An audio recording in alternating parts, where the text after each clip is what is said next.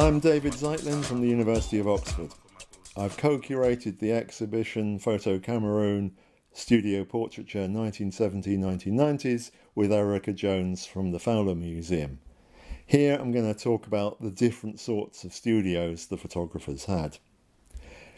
In another presentation, I explored one of the images displayed outside Jacques Toussele's studio, a photo of a couple. The display photograph above that one was a photograph of the photographer and his family. I haven't found the original negative for this image, however, a detail had been printed was, and was in his personal album, which is why I've been able to get to copy it. In this talk, I want to really consider the question of what is a studio. Of the three photographers in the exhibition, Jacques Toussele is most clearly a studio photographer, and Samuel Finlak the least, with Joseph Chila somewhere in between. The point about studios as physical spaces is that they allowed the photographer to control more aspects of the images than when photographs were taken outside. In a studio, the photographer could offer a range of different painted backdrops, somewhere for clients to change clothes if they wanted, several images in different costumes, and a range of different studio props. When electricity was available, they could use studio lights to create uniformly lit images.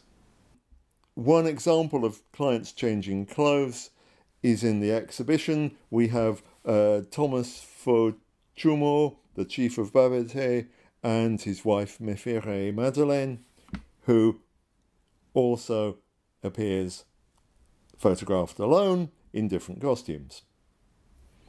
And the studio had several props. One was the standing iron grillwork, visible in those last images and in many others. Another is a painted gourd. A very different sort of studio prop was the New Year cutout within which, studi- um, within which sitters could pose. And this came out every New Year and can be seen in many images. Another very popular prop throughout the year was a plastic tree, something like an artificial Christmas tree. Here are just a couple of examples. But to return to the topic of the studios themselves, as well as shooting in his studio, Jacques Toussele took plenty of photographs outside the physical space of the studio.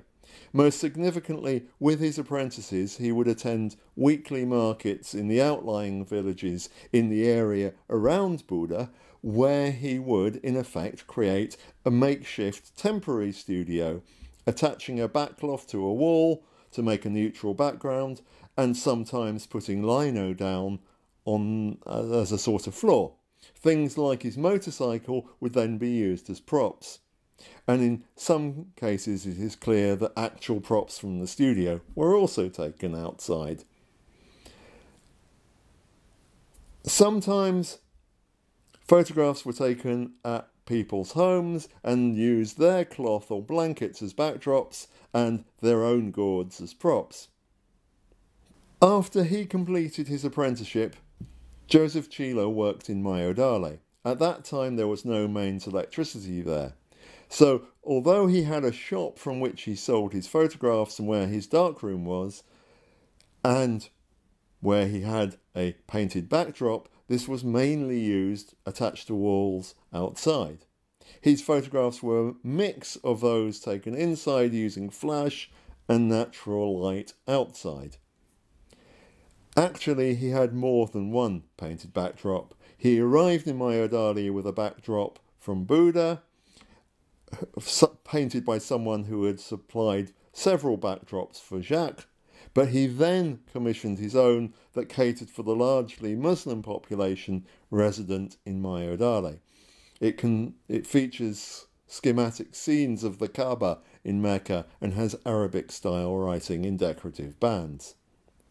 By contrast, Samuel Finlak never had a painted backdrop, and his photos were almost exclusively taken outside.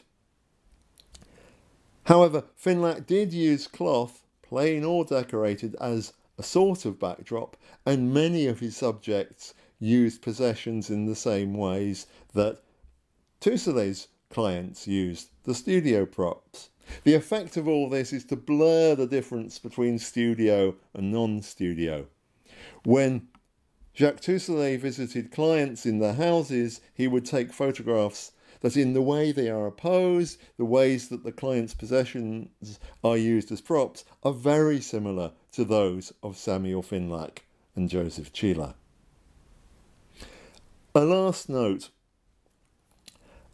In 1974, Joseph Chila originally called his studio in Mayo Darlé Young Photo Playboy. This was clearly a popular studio no name among the apprentices. In Yokadouma, another apprentice called himself Photo Emmanuel Playboy. However, Chila ended up toning down his appearance and the name of the studio to Photo Joseph to fit the more rural, the more conservative demeanour of Mayo Darlé.